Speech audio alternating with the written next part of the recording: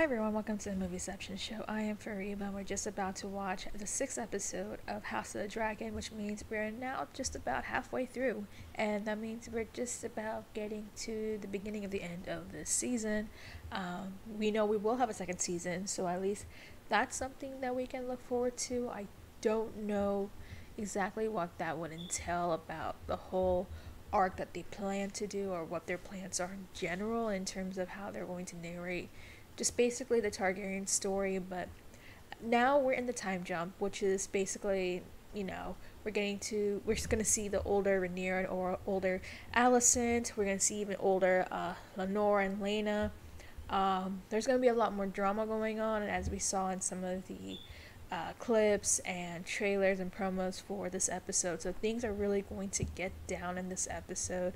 Um, think tensions are going to rise for sure. I mean, this is going to be very very interesting. Again, we're going to have a we're going to have a couple new cast people taking over. Um, but yeah, this is going to be a very interesting episode moving forward. Just kind of seeing what's going to happen, especially that dynamic between Alicent and Rhaenyra, and kind of see how it goes from here and how that will lead up to the basically the event for uh, Dance of the Dragon. So without further ado, let's get started with episode six of House of the Dragon.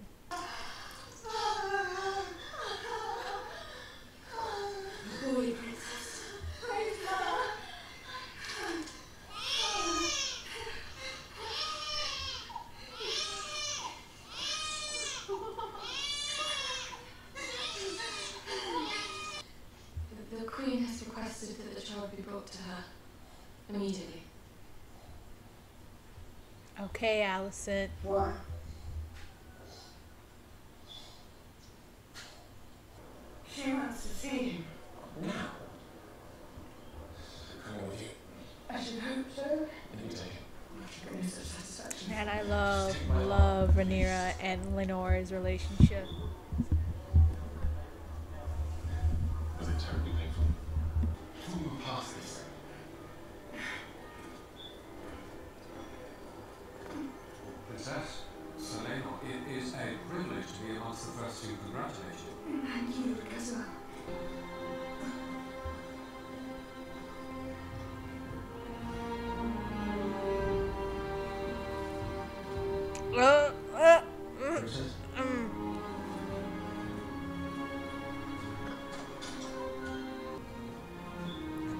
Olivia Cooke's gonna kill this role, I swear. She's such an amazing actress.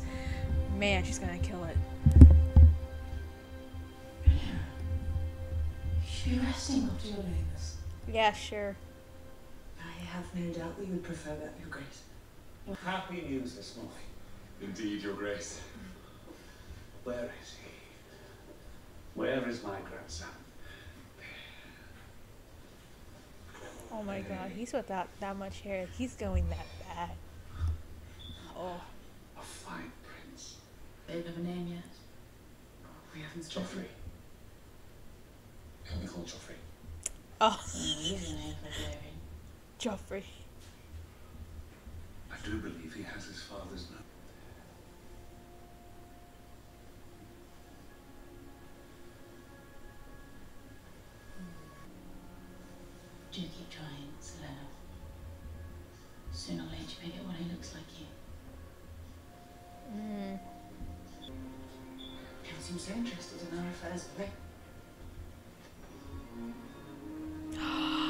Oh my god.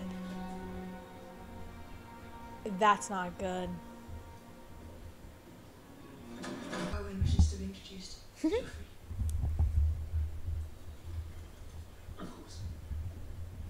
Of think he knows too, huh?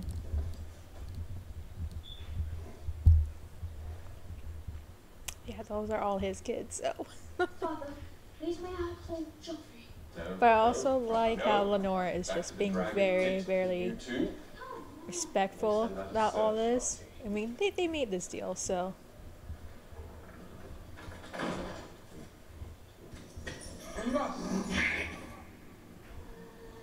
That's the dragon pit, I see. C'est George Mazagon.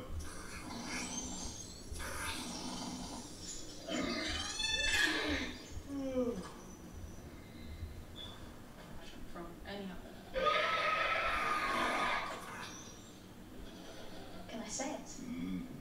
Dracarys? Come on, say it. Say it. Say it. Say it.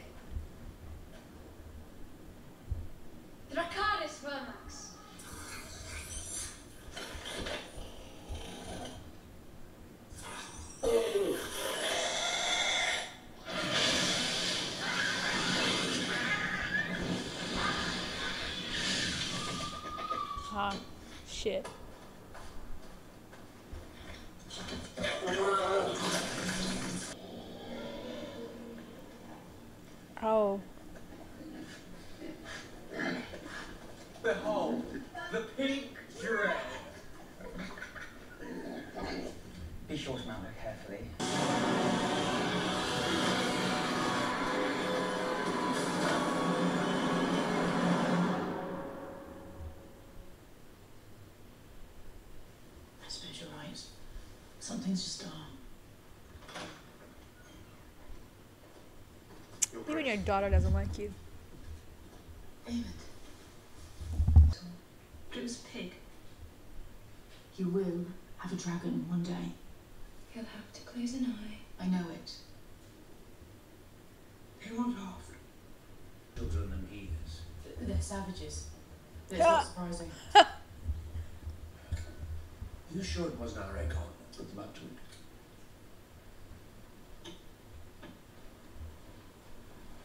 Did you witness the act itself? She's like, I want evidence of everything.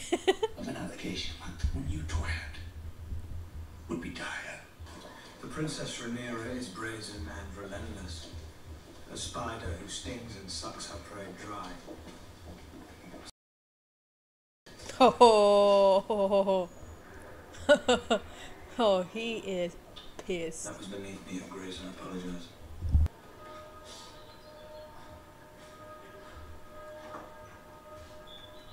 What in the world? That better not be. Oh. Oh my lord. Whose idea is it? Oh.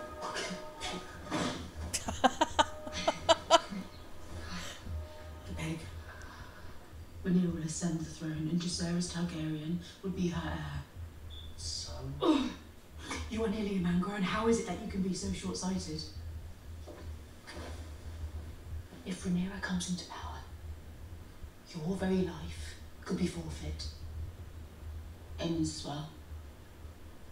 She could move to cut off any challenge to her succession. Then I will You are the challenge! You are the challenge, Aegon! Simply by living and breathing! Ah, ha ha. Ah, there we go. You are the king's firstborn son. And what they know, what everyone in the realm knows, in their blood and in their bones, is that one day you will be our king.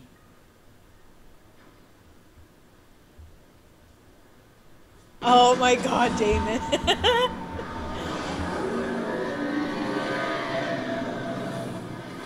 is that Laena or is someone else? That's Laena.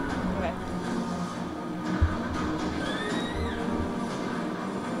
Wow, she has a huge ass dragon.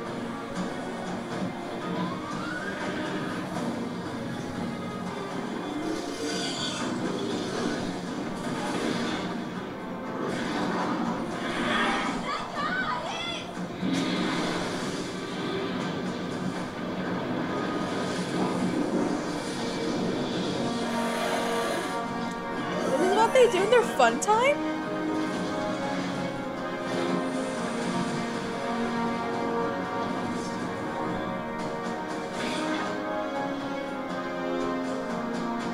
They have a much better life than anyone else. Lamb hearts are to their new Targaryen lord. You would have your freedom of the city and the harbour, as befits your royal station. Continue. Lys and its ally We will certainly entertain.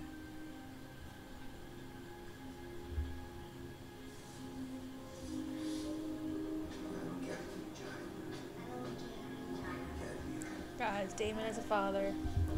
Who would have thought of that, right? I mean, that's in the books, but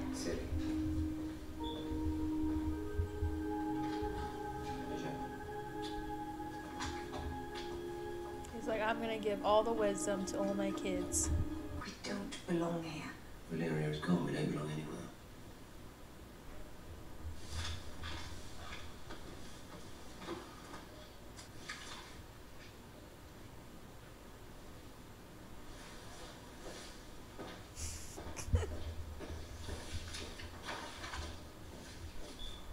Who's for mercy? Uh, you'll have a new opponent then, my lord of this role. Let's see if you can touch me. You and your brother.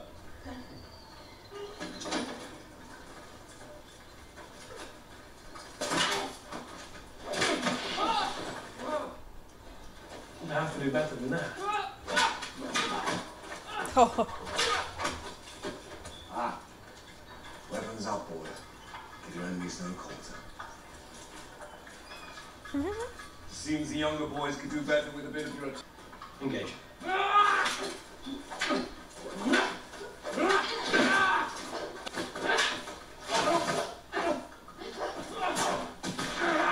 Can't play, I'll deal with him.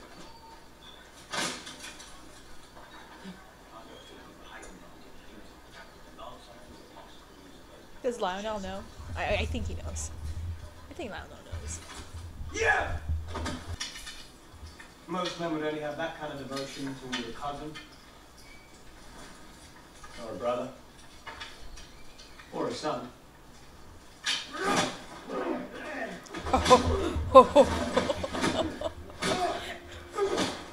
this is how we've grew up in.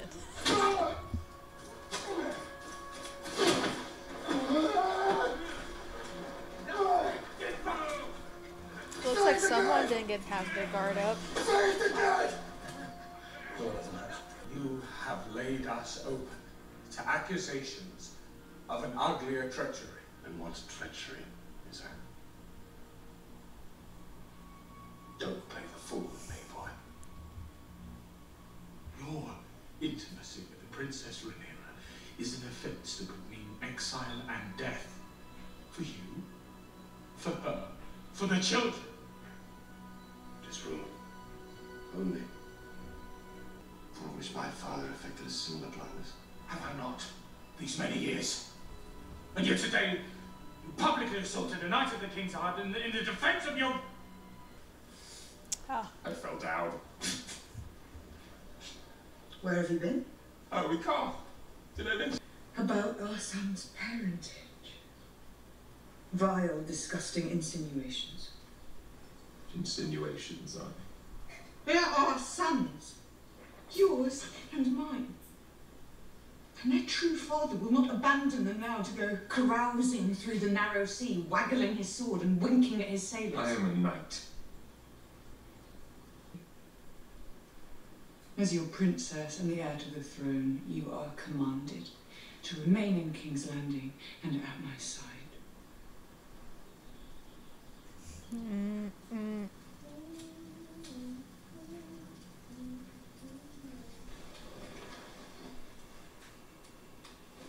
There is more than one way to bind yourself to a dragon. I was without one until I was 15 years old. And now I ride a Vhagar, the Oh. largest in the world. He's huge. Never harder ruled. Baela's dragon was born to her. Father ignores me.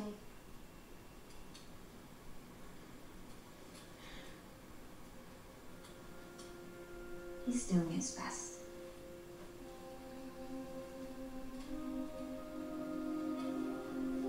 Stand resemblance to the commander of the city watch. He seems to have left that detail out. So they know too. Ugh. I miss my brother, Daemon. I'm married. It's more than this.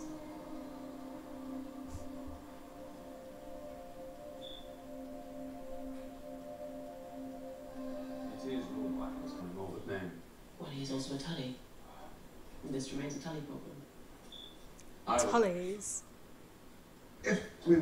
There will be country folk who know the lines have been drawn for generations. That is easy enough.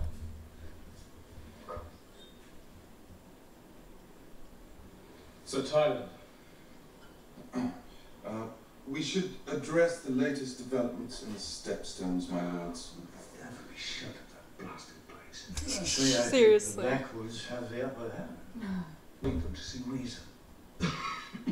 Because I don't think a Dorne is part of West Where like, Seven Kingdoms yet, right? Daemon? I suppose I should call him king, this as he styled himself when he want a battle there. Once.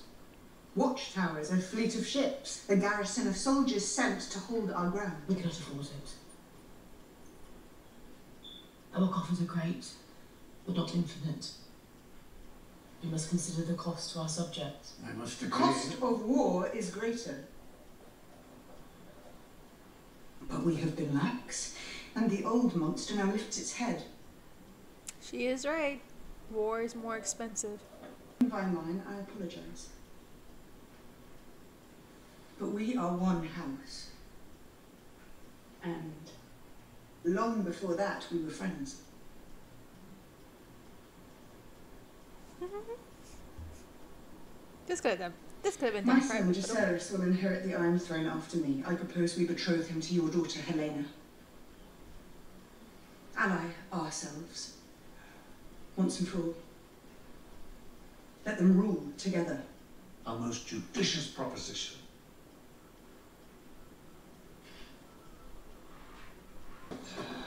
But man, Elizabeth is killing it. She's doing amazing. I'm being endlessly fussed over Lyonel. to resign my position as Hand of the King. The episode in the yard this morning, my son Harwin has disgraced himself, and every fishwife in King's Landing will soon be telling the tale. Young Harwin's outburst was unfortunate, it's true. But he's been expelled from the city watch. That seems punishment enough. Stands in contrast to all others. You speak kind words, but there is a shadow over my house, and it grows ever darker. I can no longer serve you with integrity. Wow, What is this this shadow? man is honorable. Name it that casts such a gloom. Yes. You must have your reasoning in plain language. Go away, Alicent.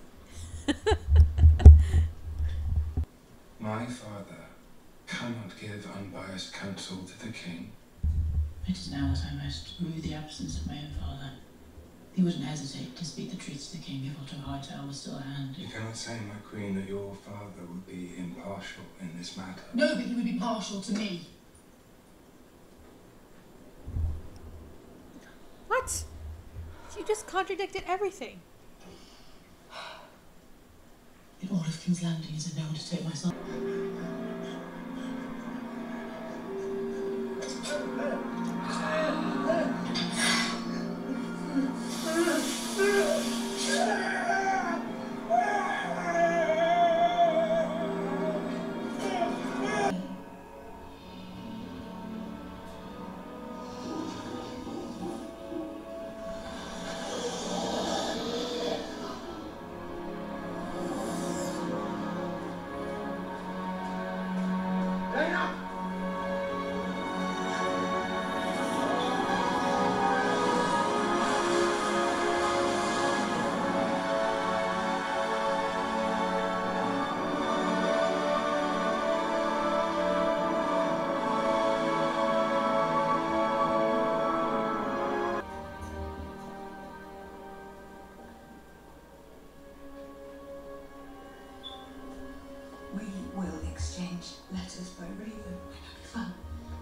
Is Harwin strong my father?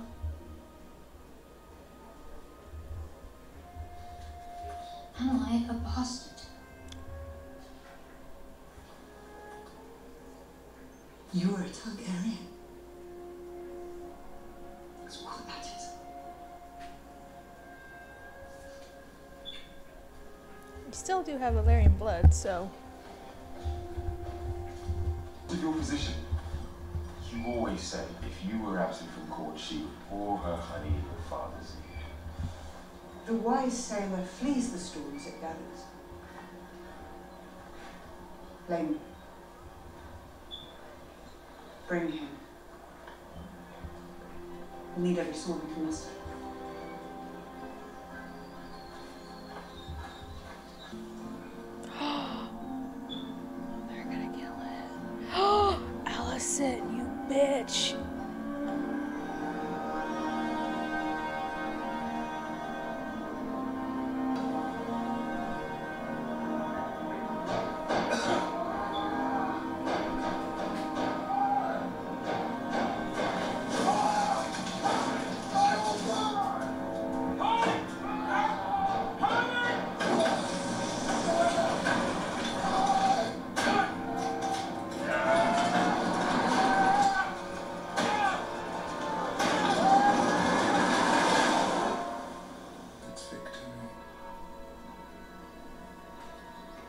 That his ring with Aemma?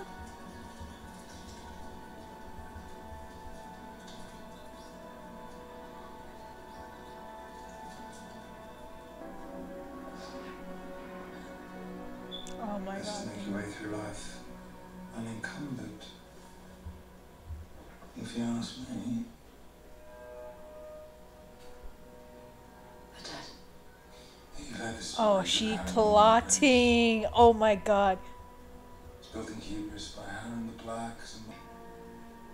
you pass judgment. The Queen makes a wish. Not servant of the realm would not strive to fulfill it? I assume you will write to your father now? Paris, I did not wish for this. I feel certain will reward me. When the time is right.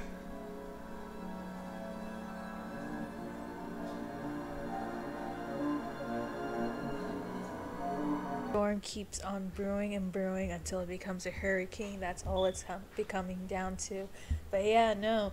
Um, let's just first talk about just the whole new casting that we have now that we have Emma D'Arcy uh, taking over from Milly Alcock and Olivia Cooke taking over from uh, I can't remember the actor's actress name right there, but but let's just talk about that for one bit, right? I mean, uh, let me just say that Olivia Cooke is really killing it as um, as Alicent, which I I have I really anticipated from because she is a, a really incredible actress. I've seen her work before in movies like Sound of Metal, but I would say I would recommend watching Me, Earl, and Dying Girl because she was really phenomenal in that film. I think that was actually one of her first films that she had featured in. Um, but yeah, no, she is really killing it as Alicent. Like, I mean, I know I've been quite cynical about her, but but I mean, of course, I think just watching just this Alicent, right? Like she she has transformed into this Alicent where it's essentially just somebody who really wants to, you know, what she believes is to be a whole entity where they're abusing their power, right? That's what she is thinking from her side of point of view, right? I I understand all that, and um, and especially because like she got married very young as a you know, fifteen year old girl who didn't really kind of get to choose what she wants to do, and then sees like Rhaenyra is able to do anything that she wants. Like again, I get all of that, and now here we're kind of seeing her just saying that well, if she's just like given the fact that she had to give up all that life, that you know, passion that she had, and everything like that. Now she wants to see it be rewarded in some way, in a sense. Whereas basically, you know, uh, putting her eldest son into the Iron Throne and challenging Rhaenyra. Um, and we're seeing how I wouldn't say plotting because we saw in the very end that she didn't want any of this, but uh, but we're seeing how things are slowly starting to be, you know, a conspiracy. Things are being a plot. Uh, we just saw how Harwin Strong basically got killed. Uh, I, we don't know what happened to Lyonel. I'm gonna assume that he is still alive from the looks of it. We don't know yet. We'll probably know in the next episode, but Harwin's definitely dead. That's for sure. Um, uh, and yeah, like there's a lot. The, the teams are being formed, right? We're seeing who sides with who. We already know that Criston is probably going to be Alicent. Uh, we know that the younger, strong kid, I can't remember his name uh, straight out of my head, but he's going to be also be um, siding with Alicent. But then it's going to be interesting to see what's going to happen later on when we do get to kind of that war between Alicent Hightower and Rhaenyra, which we kind of saw a, pre- a preview to, but but yeah, things are really starting to um, build up. Um, so yeah, I mean, as I mentioned before, Al- Olivia Cooke is phenomenal. Emma D'Arcy, I mean, I gotta also give, I have to also give their props too, in terms of the way that they are performing in this series. They've managed to show kind of a different set of Rhaenyra, where uh, the Rhaenyra that we're seeing here is a bit more, you know, like she's starting to really understand the issues that are at hand. She knows what's going to be, uh, what's at stake, basically, and she's understanding that, right? And I think Emma has done a phenomenal job just taking, just carrying over uh, all that uh, Milly Alcock had, had pulled off for this character and managed to really show like a very very you know desperate I mean v- yeah desperate Rhaenyra who knows that well she needs to start like you know playing the game at this point or otherwise her claim is going to be challenged as well as her sons as well right? So I, again I and then just seeing just the tension between the two friends again Emma and Olivia are just doing such a phenomenal job. Like they're really really doing amazing. Where it's just like we're literally like we haven't even gotten to the worst of it yet we're already seeing all this tension this awkwardness of between the two of them. Even like Rhaenyra's trying to be like oh I want to try and make up for what's going on between us although again that's probably just her way of just you know getting really desperate knowing that like anything can happen to the point where she might be removed from the throne right so there's a lot of things going on in terms of that um, now let's move forward to some of the other stuff, right? So we're seeing we saw Daemon again. He's back, um, but we definitely see a much different Daemon, right? He isn't that cocky, attention-seeking Daemon that we saw from the first five episodes. He's just somebody who's like, well, I kind of just want to settle, but I don't really care about things and all that sort of stuff, right? And that's like you know, of course, he has two daughters now, and now he's a widow, what we just saw in this episode. Um, it's going to be very interesting to see kind of where his story goes from here because it just seems like he kind of, I wouldn't say give up, but he just, you know, he's just accepted his faith in a way. Um, and just to see him, like, this is kind of like the first time we actually seen him actually care, in a sense, for someone like Laena. Because um, he, he, we see, like, that one bit where he's emotional, he can't believe, like, what's just happened, yada, yada, yada. And that's probably one of the rare cases that we've actually seen daemon just show this sort of side of him.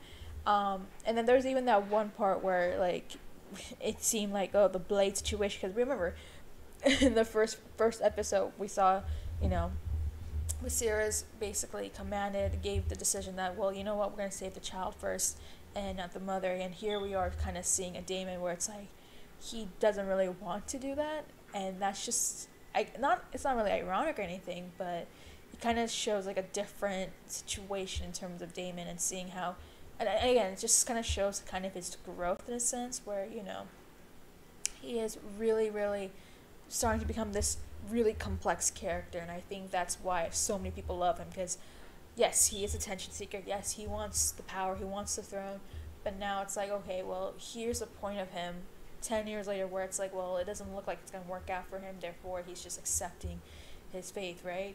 Um, but yeah, no, this is a great episode where we're just, again, we're seeing so much tension brewing. We're seeing even the fact that Criston, oh man, that man is really, really has a grudge towards Rhaenyra. I mean, I, I get it. He basically was dumped. Um, but man, that's going to be interesting just to see how all that unfolds, especially now that we're kind of getting closer closer to Viserys' death, and therefore, basically, dragon uh, the Dances of Dragon event. Um, let's quickly talk about the kids. The kids are so I would say uh, Alicent's kids aren't as bad as I thought they were going to be. I was kind of quite surprised.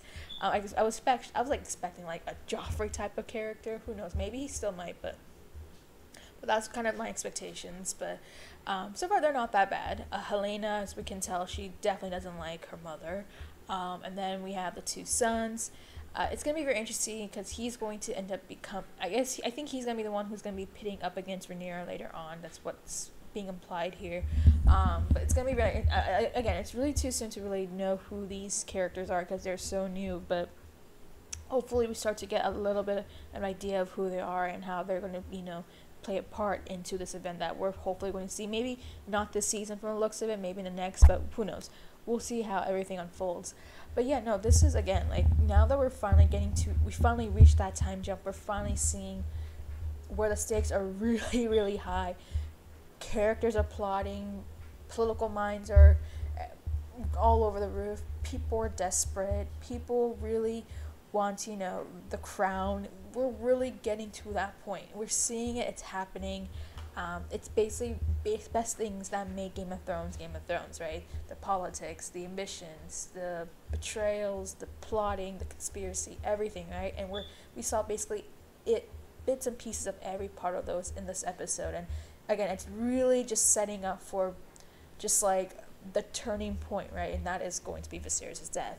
So it's gonna be interesting how that's going to happen. Again, like again, every time we're always seeing each episode just doing even better than the last, and this one again just top notch. So yeah, that's all I really have to say. I mean, again, the performances have been great. It's really amazing just seeing how they've been they've managed to you know transition from the time from you know a young Rhaenyra and Alicent back when they were like 19 to now a much older mo- almost near their 30s characters and seeing how they still managed to embody kind of the essence of the characters that we saw in the beginning but also like seeing their growth and evolution how they're really really learning right?